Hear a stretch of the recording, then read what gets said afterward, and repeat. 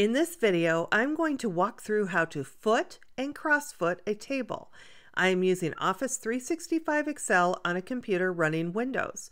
The process is the same on a Mac.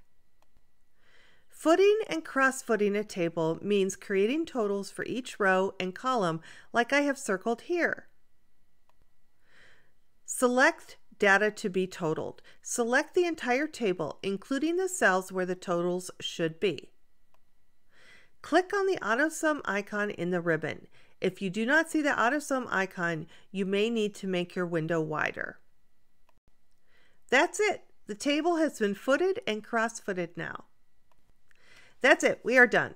This video was created and narrated by Dr. Wendy Tietz and is part of the Excel Skill Builder video series. See accountingisanalytics.com for additional faculty and student resources.